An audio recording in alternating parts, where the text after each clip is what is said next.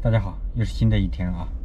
昨天我们还在跟点点送菜，呃，但是呢，真是人生无常啊！我们这一栋楼也被封了。早上送完小泽回来之后，我们看到门口有人在拉安全带，然后开车开到地下室，从地下室那个铁门进来，铁门被上了锁链。呃，后来一问才知道，我们那一栋楼有密切接触者，现在也要把楼封了，隔十四天。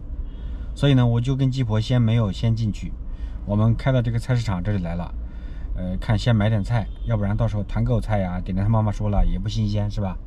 所以我们现在在菜市场旁边停着在，呃，马上鸡婆去买菜，我把堂妹拦着。哎呀，现在鸡婆很担心，其实，呃，关十四天也没问题，蔬菜不新鲜呢也没有问题，我们最担心的就是小泽的学业跟不上。我刚才还建议鸡婆。说是我们上去看，找个什么理由把证件一拿，出去找个房子租个房子，或者是呃租租个宾馆。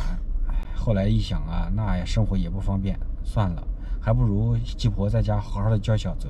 小泽现在还没上三年级，还没有什么作文吧，都还是认字接单，还蛮简单，就就打消了这个念头。哎呀，现在这这真是麻烦啊！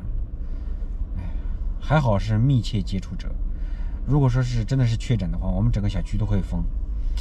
哎呀，真是不知道是谁是密切接触者。我们谁是密切接触者，社区也不跟我说。反正他说就是你们这一栋楼里面的。哎，现在鸡婆很很焦虑，我也很焦虑。哎呀，好烦呐！本来我们有很多计划的，这也算是，哎，又太耽误事了，我觉得。哎，算了吧，还是去买菜吧。啊，多买点啊。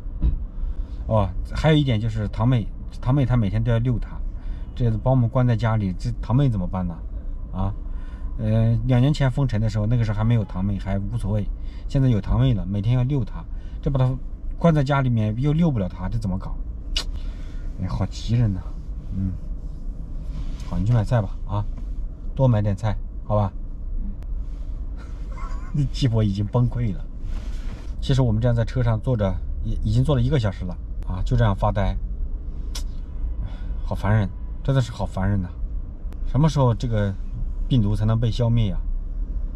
老是搞这样也不是办法。我带着堂妹在这儿玩一会儿，这里有个小公园，刚好晒晒太阳。买几天的？哎，我看着买了。哎呀，你别多想了，好吧？不要不高兴了。烦人呢。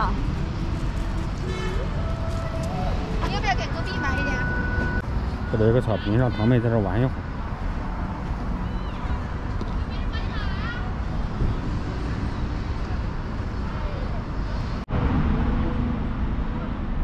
我把堂妹解开了啊，让她好好玩一下，因为马上她就没没得玩了。堂妹，堂妹，过来，来，我跟你说，来，堂妹，你赶紧好好玩一下啊，不然你一会儿就没得玩了。啊，他们一会儿你就没得玩了。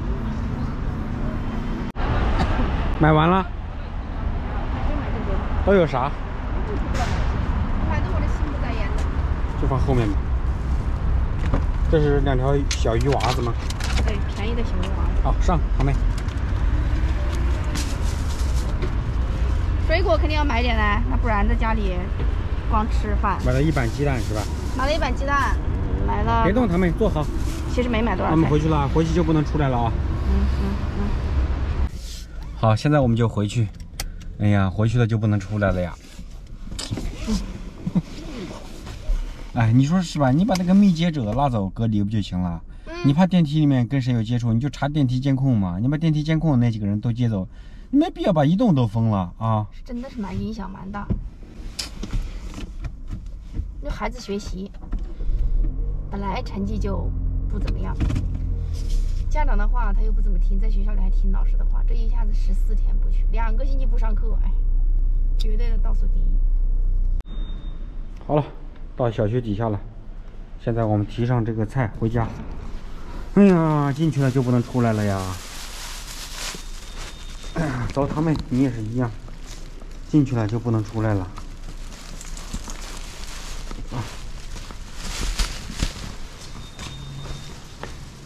这好重啊！要不我们还就在外面待着。地下室已经封了，只能从门口进，门口全部都是警戒线。这这地下室已经锁了，大铁链子，这栏杆都换了新的，不锈钢的。哎，走楼上，他们你蹦个啥蹦？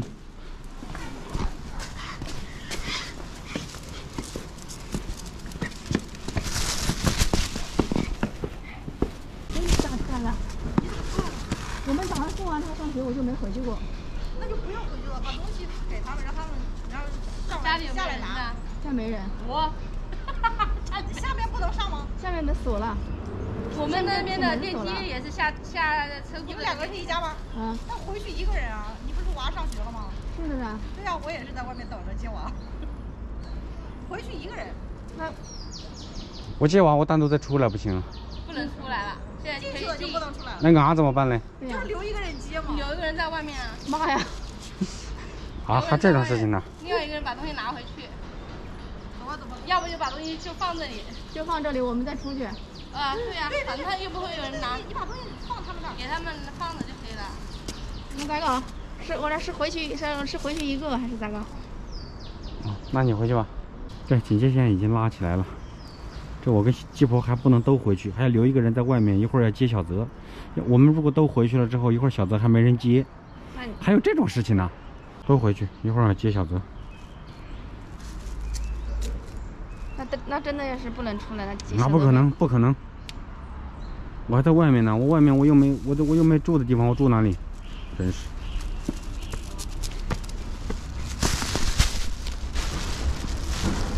我真的不想进去。我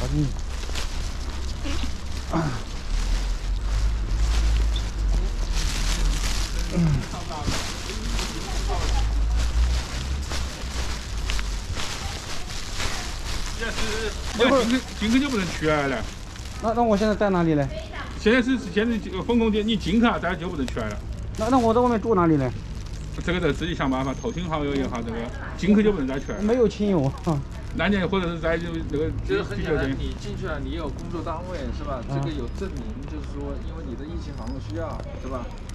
已经封控了，不能上班，这个都可以单位可以那个，对吧？不是说有无数啊，这个上面都有证明。那我一会儿接小孩怎么办呢？你要正好是那就一有个人正好是不要进来，进来就取不去了，进来就不让出去了。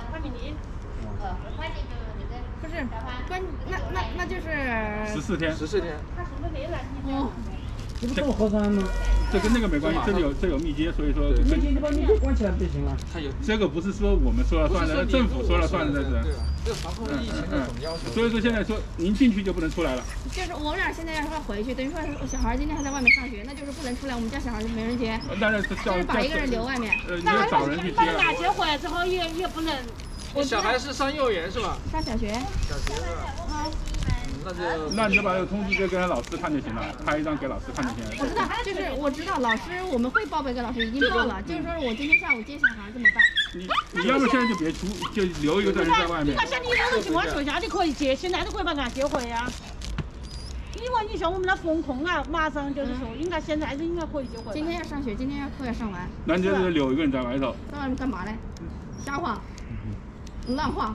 现在是这样的，现在政策是这样的，如果说你进去就不能让你出来了，我要把这个要解释给你讲清楚你。还是嗯，就在这上学。你在外面等着。这不是你这样子吧？放心。哎，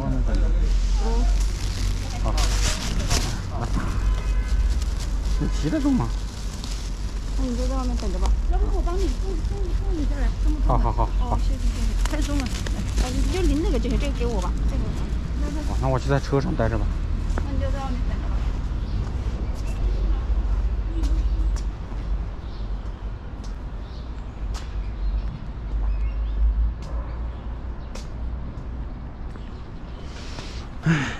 哎呀，看到没有？进去就不能出来了啊！哎呀，我这是真是搞不懂。你密接，你把密接的，你把它隔离起来不就行了？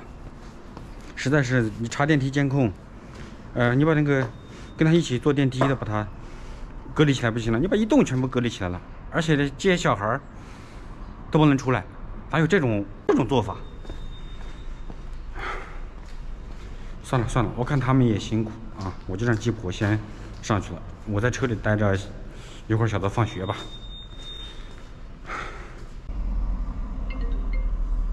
喂啊。喂。啊。他们操场的那个铁栏杆是吧？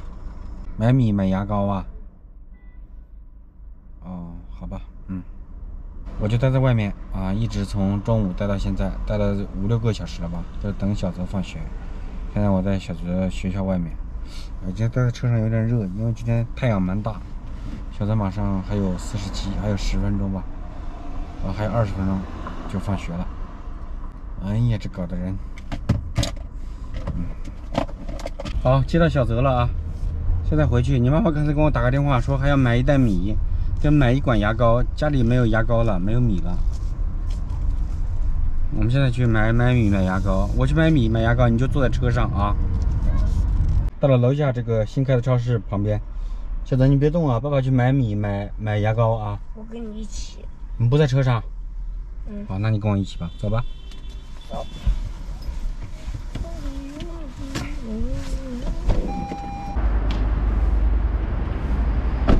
好，走，那你跟我一起吧。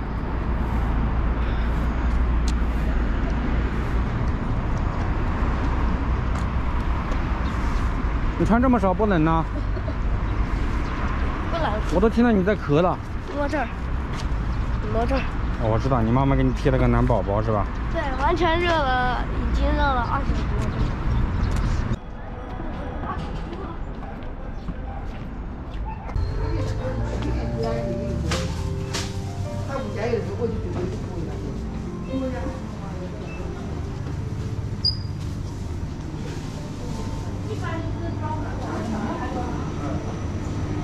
嗯，鸡婆说拿袋米，我看拿一袋什么样的米啊？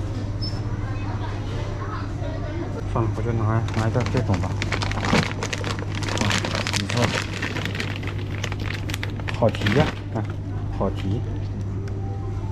买牙膏，买什么牙膏呢？嗯，就拿个这个茶杯垫吧。好，小格子。欢迎使用支付宝自助收银服务。哦，那是可以在那个上面发